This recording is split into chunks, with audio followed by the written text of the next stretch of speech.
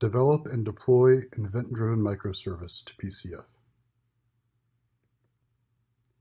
In this section, we'll demonstrate how to provision RabbitMQ from the PCF Marketplace.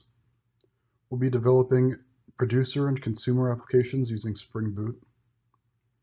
We'll show you how PCF injects runtime arguments into your app for auto configuration. We'll be building our applications using Maven. We'll show how to deploy your applications to PCF without using a manifest YAML file. And finally, we'll see our we'll see our event-driven microservices in action, and we'll see message going through the RabbitMQ dashboard. Provisioning a RabbitMQ message broker from the PCF Marketplace. In this video, we will demonstrate how to create a RabbitMQ Marketplace service. We'll log into the RabbitMQ dashboard and we'll create a queue in the RabbitMQ dashboard. So here we are back in our Pivotal Cloud Foundry web console. We're in our packet-demo org in our development space, and we're going to go ahead and create a RabbitMQ Marketplace Service instance. As you can see here, I already have mine created. I named mine RabbitMQ, all lowercase, and the plan I selected was the free plan cleverly named Little Lemur. And we have two applications bound to this Cloud AMQP services, service instance, this RabbitMQ service instance. We have our producer and our consumers bound to it. So again, in order to create this marketplace service, you simply go to the Add a Service button here in the top right. And you scroll down until you see Cloud AMQP. Go ahead and select that.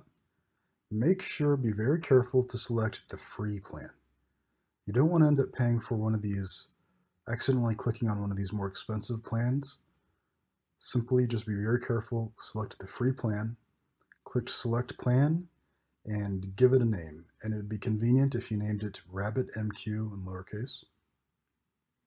And then your instance will be created, and you'll be able to see it here, just like this.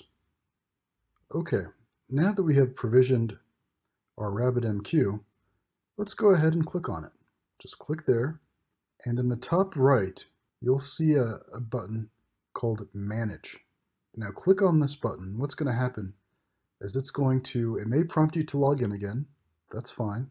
Go ahead and log in, and it'll bring you to this page with details about your AMQP installation. Now go ahead in the top right, you're going to click on this RabbitMQ Manager button. This is the important part, so click on this button. And this is the RabbitMQ dashboard. And what we're going to do in this dashboard is we're going to create a queue. So go ahead and navigate to queue. And as you can see, I've created a queue named My Queue right here. Simply to create My Queue, you would go to Add Queue.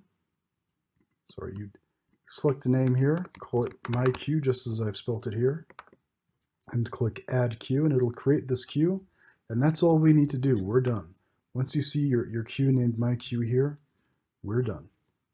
You can simply close this window and we are good to go. To recap, the PCF Marketplace provides fully managed services for our apps with little effort. We can provision RabbitMQ from the PCF Marketplace. Once RabbitMQ is provisioned, we can access the RabbitMQ console to create channels and queues.